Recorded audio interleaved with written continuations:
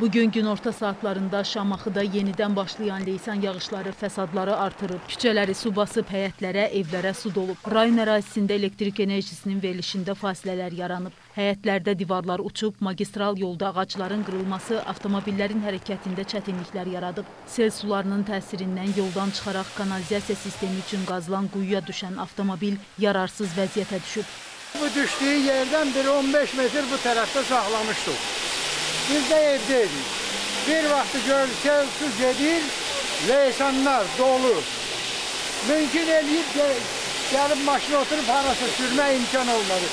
Ən çox fəsad rayonun Məmmədəmin Rəsulzadə küçəsində qeydə alınıb. Sözü gedən küçənin su xətləri sıradan çıxıb, asfalt örtüyü yararsız hala düşüb. Aidiyyatı qurumlar ərazidə fəsadların aradan qaldırılması istiqamətində iş aparır. Selin vurduğu ziyan araşdırılır. Pərvanə Mustafayeva, Cavanşir Seyfəddinoğlu, Şamaxı.